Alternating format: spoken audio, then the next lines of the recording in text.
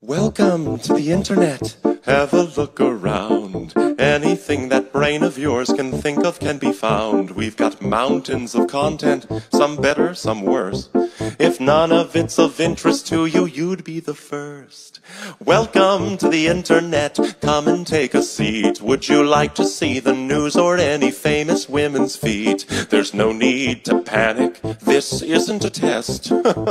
Just nod or shake your head and we'll do the rest. Welcome to the internet. What would you prefer? Would you like to fight for civil rights or tweet a racial slur? Be happy, be horny, be bursting with rage. We got a million different ways to engage. Welcome to the internet. Put your cares aside. Here's a tip for straining pasta. Here's a nine year old who died. We got movies and doctors and fantasy sports and a bunch of colored pencil drawings of all the different characters in Harry Potter fucking each other. Welcome to the internet. Hold on to your socks, cause a random guy just kindly sent you photos of his cock. They are grainy and off pudding. He just sent you more. Don't act surprised, you know you like it, you whore.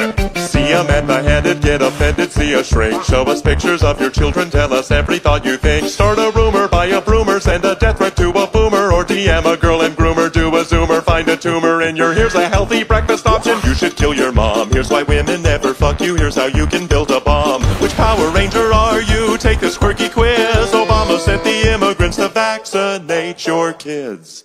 Could I interest you in everything all of the time? Could I interest you in everything all of the time? A little bit of everything all of the time. Apathy's a tragedy and boredom is a crime. Anything and everything all of the time.